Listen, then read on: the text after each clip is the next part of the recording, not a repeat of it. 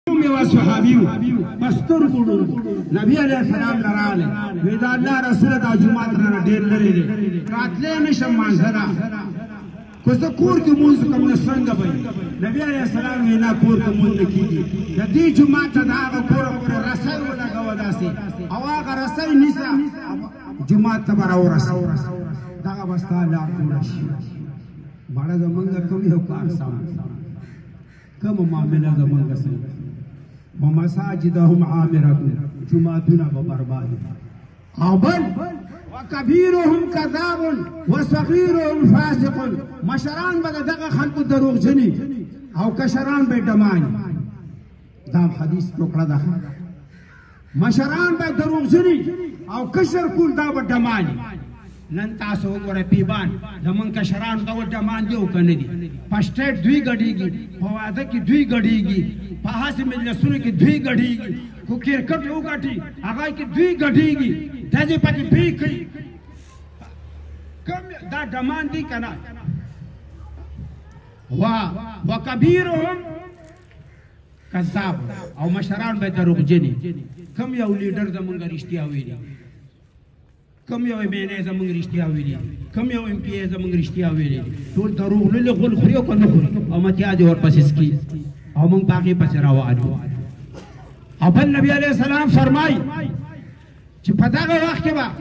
میندې ډېرې زیاتې ذلیله شي د اولاد د لاسه میندې به ډېرې ذلیلې د خپلو بچو د لاس نه نن هره مور د بچي د لاس نه جاړي نن هر پلار د بچی د لاسه جاړي دا ټول پیشنګي رسول الله صلی الله علیه وسلم کړی دي او هغه پیشنګي ټول د جرور ظاهر شولې او ښکار کیږي عايزان وسم من سره واخشته دي چې موږ وسم توبه وباسو موږ وسم چې کوم د الله ته توجه ورکړو دا منظور نه دي دا کوم چې موږ منظور کوو دا تسبیح نه دي چې مونږ دا تسبیح جوړې کړو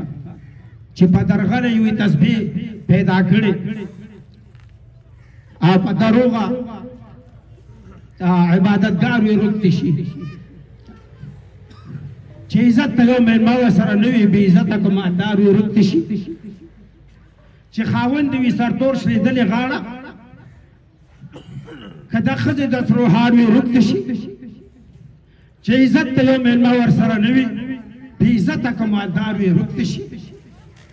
چې عزت ته بې عزتۍ په ځای کې پرېږدي جوارګر که د چا پلار وي رکت شي مطلب دا عزت ټک ټکوم جوړ کړی دی بس دا ټک ټکوم جوړ کړی دی پیغمبر علیه السلام له یو سړی راغی د الله رسول داسې وظیفه راله راکړه چې د ګناهونو نه پرې خلاص شي دا ګناه نه کوم توبه طالب شي رسول الله صلی الله علیه وسلم وته فرمایل دا وته نه وي چې دونه استغفار لولا دونه درود لولا او دومره دا کلمات لولا دا وته نه وي بچې دروغ مه وایه د ټولو ګناهونو نه به خلاص شي وایه په ایماندارۍ دروغ مه پرېږدي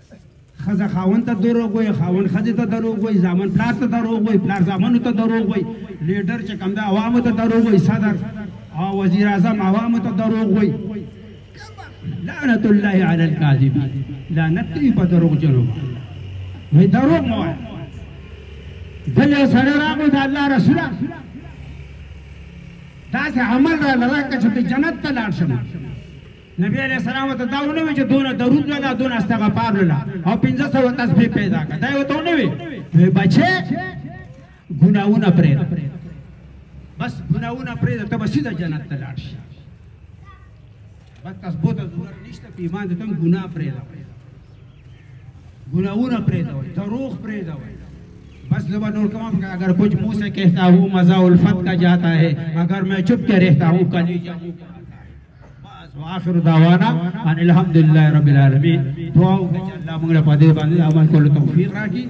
الله رب العالمین زمونږ د عاجز صاحب وبخي مغفرت نصیب کی خبر جنت ته بخښونه بخښه وګرځول کی هلا العالمین ټول امت پیغمبر علیہ السلام وبخي الله موږ له خپل قران د عمل کولو توفیق راکړي الله زمونږ د قران سره محبت پیدا کړي الله زمونږ ایمانونو حفاظت وکړي زمونږ د